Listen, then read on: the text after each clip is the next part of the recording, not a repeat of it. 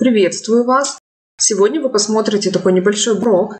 Я думаю, что вам пригодится способ, который я вам покажу для вырезания каких-то ровных тюбиков, предположим, вот такой формы, да, то есть каких-то таких предметов, где у вас есть в основании овалы и ровные бока. Значит, э, покажу пример вот на этом тюбике. И для этого вырежу его на новый слой, чтобы нас ничего окружающее не отвлекало.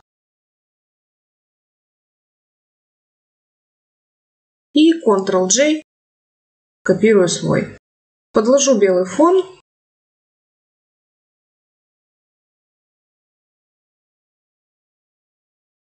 И теперь нам нужно зафиксироваться на этом слое и вытянуть линейки. Напоминаю, что линейки находятся в закладке «Просмотр».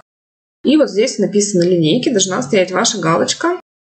И также уточню, что если вы по линейке щелкнете правой клавишей мыши, а, то здесь вы можете поменять единицы измерения линеек. У нас в пикселях. Это не принципиально важно, просто уточнила вам, где вы это можете менять. Итак, нам нужно вытянуть линейки из, левой, из левого края и найти боковые стороны нашего тюбика.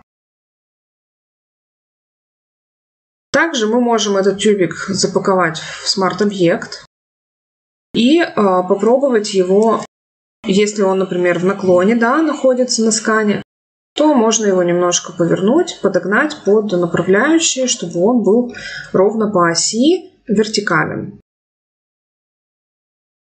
Итак, мы выровняли по осям. Можно даже вот эту направляющую немножечко линейку еще подтянуть. Да. А, вот так меня устраивает. И что мы делаем дальше? Мы берем инструмент прямоугольная область и выше, повыше, чем наш тюбик, захватываем примерно на направляющий но чуть-чуть как бы за ее пределами, и вы почувствуете, как примагничивается вот это выделение к направляющим, как изнутри слева, да, так и изнутри справа. Попробуйте вот так, потягайте, она прям магнитится. И нам нужно, чтобы весь тюбик в эту выделенную область попал. Отпускаем. И нажимаем Ctrl-J. То есть вырезаем этот эту часть, да, прямоугольную, на новый слой. Давайте посмотрим, как это выглядит. Подложим под эту часть, мы подложим, пожалуй, черный фон, чтобы было нагляднее.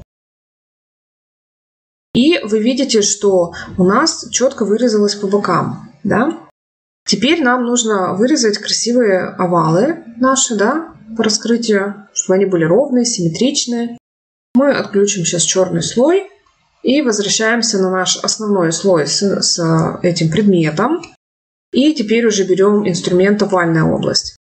Нам нужно приблизить максимально, ну так, достаточно сильно. И теперь смотрите, Примерно ловите, где находится вот эта направляющая. И также нажимаете левой клавишей мыши и видите, направляющая стала такой сиреневеньким цветом. Да? Значит, мы попали четко в саму направляющую, да, пиксель в пиксель. И тянем вправо до соприкосновения с другой направляющей. И видите, тоже она стала фиолетовой. Значит, вот этот овал у нас четко по направляющим, да, по ширине. И теперь мы можем вытянуть вниз раскрытие овала найти, которое нам нужно. И ничего страшного, если овал у вас, вот сейчас он у меня ниже, чем заканчивается сам предмет. Это не страшно, нам главное поймать степень раскрытия овала и попасть в эти направляющие. Да, видите, вот она фиолетовая становится, значит вы попали в направляющую. Она также магнитит к себе. Отпускаем клавишу и теперь э, мы нажатием клавиши двигаем вверх этот овал настолько, насколько нам нужно. И теперь, находясь на слое, да, основном, который мы изначально вырезали, нам нужно опять же нажать Ctrl-J, вырезать этот овал на новый слой. И давайте включим черный слой и посмотрим, мы пока выключим то, что мы вырезали прямоугольником, и у нас вырезался вот такой овал. Замечательно. Включаем остальное, выключаем черный слой, и теперь нам нужно вырезать еще нижний овал. Также, да, берем овальную область и стараемся попасть примерно по направляющей. Вот она примагнитилась. Также до следующей тянем, ищем раскрытие овала и возвращаем, да. Если не поймали раскрытие овала, можете отменить Ctrl-D, снять выделение и попробовать еще раз.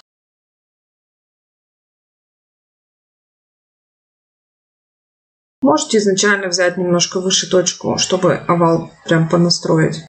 В общем, приспосабливайтесь, кто как может, как говорится. И здесь мы тоже нашли этот овал. Возвращаемся на слой изначальный, да, нашего тюбика и нажимаем Ctrl-J. И также вытягиваем это над черным слоем. Теперь включаем черный фон, и мы теперь будем работать только вот с этими слоями, которые мы вырезали. Нам нужно найти слой, который мы вырезали первым, да, то есть тюбик, который мы вырезали прямоугольной областью. И взять теперь нам нужно стирательную резинку, ластик, настроить кисть на жесткость и в пикселях, если у вас вдруг не показывает а, кружочек, а, какая, какой диаметр кисти, да, значит вы, скорее всего, нажали Lock. Капслог убирает вот этот вот кружочек диаметр. Вот, я сейчас нажимаю капслог, да. И мы чуть поменьше сделаем. И возвращаемся на этот слой и смотрим. Вот так вот стираем. И видите, у нас этот слой с овальчиком, он остается, да, а то, что лишнее, мы убираем. Но будьте внимательны. Сейчас я еще поменьше сделаю диаметр. Вот если вы здесь перестараетесь, видите, уже, да, можете стереть сам флакончик уже за овалом. Поэтому внимательно смотрите, что до, до какого момента у вас идет вот здесь соприкосновение. И также, соответственно, с этой стороны, да, то есть можно переусердствовать и стереть не нужно. Главное, эти слои не двигайте. Пока ничего не двигаем. Все должно быть вот как было. Ничего не двигаем мы. Здесь мы зачистили, и теперь идем вниз. И по такому же принципу, да, мы зачищаем по овальчику.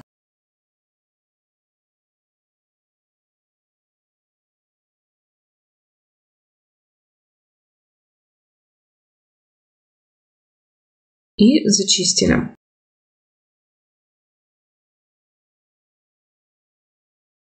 Итак, Теперь у нас получился такой э, с красивыми да, контурами предмет. Но, конечно, нам нужно его еще дорабатывать. И теперь вы можете...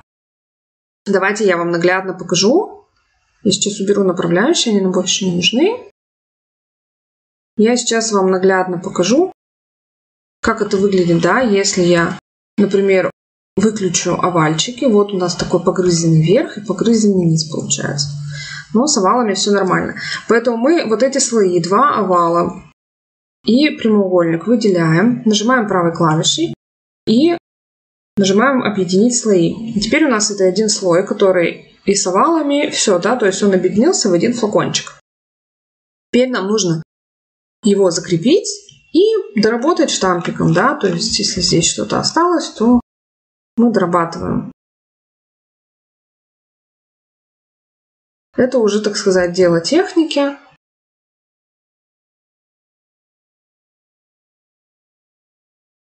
Также, соответственно, вы можете э, разбить этот э, объект на несколько частей и вот здесь тоже овалы красиво вырезать. И потом это состыковать, доработать штампиком и так далее. А, я вам показала вот сам принцип этого процесса, так сказать. Поэтому а, смотрите, Здесь, кстати, у меня немножко съехал овал, как вы видите, на один пиксель влево. Да, нужно быть внимательным и не допускать такой ситуации. Вот, наглядно вам показала, как, да, можно, может съехать. Нужно было внимательнее вырезать этот овал и более аккуратно его подводить под направляющие.